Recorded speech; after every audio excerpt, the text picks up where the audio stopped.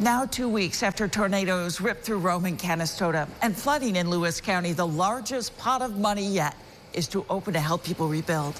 $11 million from New York State, meant for people who need it most. News Channel 9's Victoria Kellogg explains who qualifies. For two weeks now, Shirley Northup has been trying to figure out what kind of cost she's up against after her Canastota home got hit by a tornado. I put a lot of money into it and it's not just something that just is um, gonna cost 50 cents to fix. Um, I put a lot of money into the food and, um,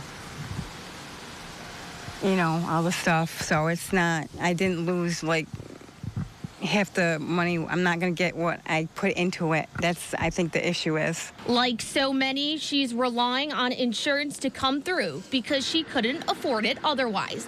Now, New York State is stepping up to help, specifically for low to moderate income homeowners. I was a little downtrodden, you know, still speaking to some of those residents and some of them being so desperate. Um, so it's it's good to know that the state is looking out for us. Uh, because just if it was just Canastota, we would never qualify for FEMA funding. Since the storm, Shirley's home has been declared as not to be occupied by code enforcement and the fire marshal of Canastota.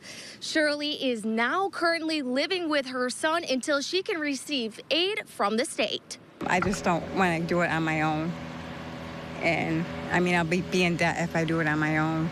We've been taking down names and phone numbers, waiting for an opportunity like this to help.